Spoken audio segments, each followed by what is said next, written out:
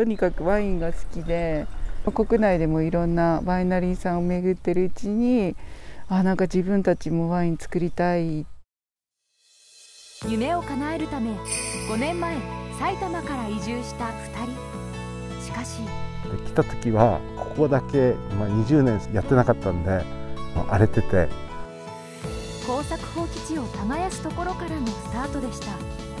小学校の校章がブドウのマークだったり昔ワイン工場があったりここでワインブドウを作るのは間違いなかったのかなとだからここで頑張っていこうと。地元の人に愛されるあのワイナリーワインを作っていきたい。夫婦二人三脚で歩んだ山形での5年間。4R しかなかった畑は 134R に。何もなかった場所には立派なワイナリーが完成し醸造がスタートしました。自分たちだけで作っていくっていう今日が最初のこう出発点だなっていうのを果汁を見ながらしみじみ感じてます。併設するショップもオープンしこれまで委託醸造で生産したワインの販売が始まりました。それでもゴールはまだ先夢の途中だよね。力を合わせて頑張ろう。頑張ろう。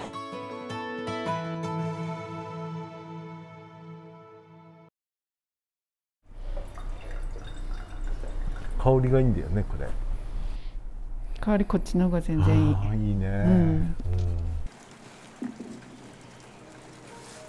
2人は夏から秋にかけて仕込んだワインの出来具合を確かめていました楽しいですね。本当に。組み合わせでもいろいろ変わってくるので。そうそのね日本のスタイルとねヨーロッパ系品種のプチベルノのガツンとしたのが入ると、別の次元の味わいになるわけよ。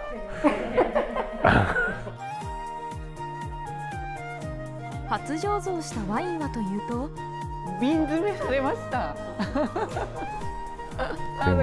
赤のキャンベルアーリー赤キャンですやっぱり自分のとこでそのワイナリーがあるからその好きな時に収穫できるからそれが良かったよね。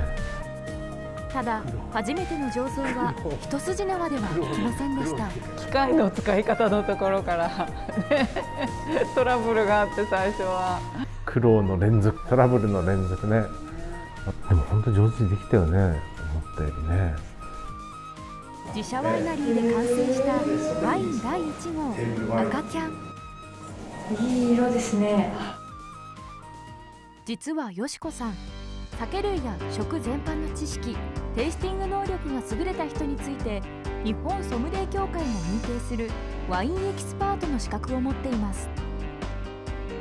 この資格を生かしてやりたいことがありましたワイン大好き人口を増やしたいという私のその願望がありましてちょっとしたこう料理でペアリングしてもらうようなそういう機会持てたらいいなと思ってます。料理と一緒に楽しむと料理も美味しくなるしワインも美味しくなるしますますワインのことを深く知りたいっていうふうに思っていただけると嬉しいですね。ワインの販売前に一足早く味見させていただくことに。合わせるのはキャンベルアリーがいちごっぽい可愛い感じがするのでいちごをメインとした前菜にしてみました。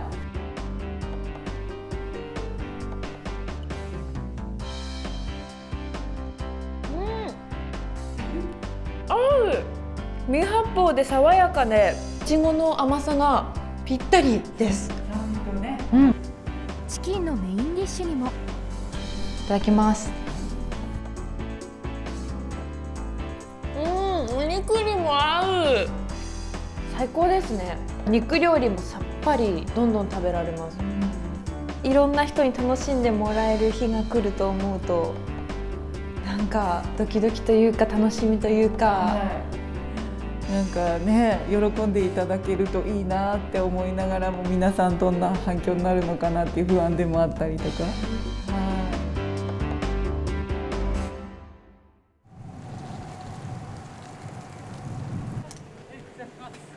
よしこさんが足を運んだのはこれまで委託醸造で作ったワインを納品していた金森酒店。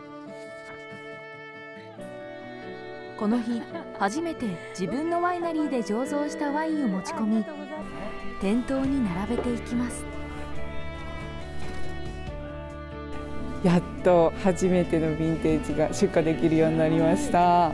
仕込みの初めての商品なので前回のマスカットベリー A などとはちょっと違う何とも言えない気持ちがあります。すごい名前もすごい可愛いですよね。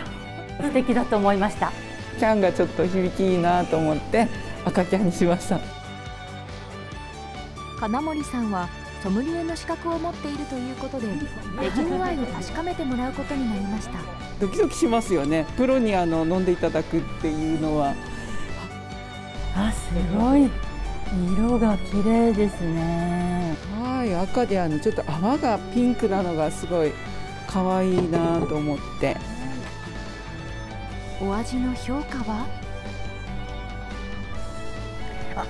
いちごの本当にいちごの潰したようなですよね。ドライでちょっと酸味がありながらすごい美味しいです。ありがとうございます。良い感想がもらえて一安心ですちょっとほっとしました。太鼓判をしていただけたっていうところは嬉しいですね。